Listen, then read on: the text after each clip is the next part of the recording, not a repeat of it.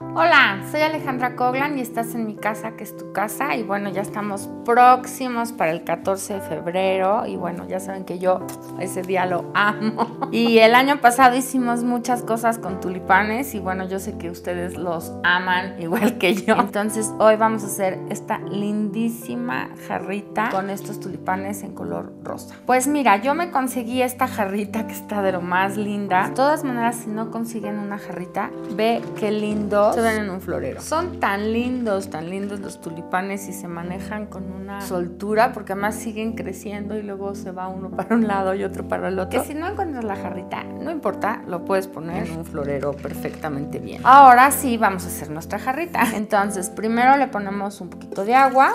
El agua, acuérdate que yo siempre te recomiendo que tenga unas gotitas de cloro. Y este asunto del cloro te voy a explicar qué tiene que ver. Las flores tienen sus venitas, igual que nosotros que tenemos venas, que son las que llevan el alimento, las tienen así, en recto. Entonces, algunas veces, si el agua está sucia o el florero tiene tierra, lo que puede pasarte es que se te tape, se le tapen las venitas a las, a las flores y entonces no reciban suficiente agua. No sé si te has fijado alguna vez tienes unas flores lindas y de repente una con la cabeza ahí toda caída. Es por eso, es porque no está recibiendo suficiente humedad, agua y nutrimientos en la parte de la flor. Entonces, por eso es importante siempre cortar los tallos, que el agua esté limpia. ahorita nosotros ya, nos los, ya, ya los tenía yo cortados, pero sí recuerden que hay que cortarlos. ¿Y qué estoy haciendo? Bueno, las estoy acomodando. Y si te fijaste, algunas hojas las estoy retirando porque se ven como, pues, como están rotitas o no están como muy bonitas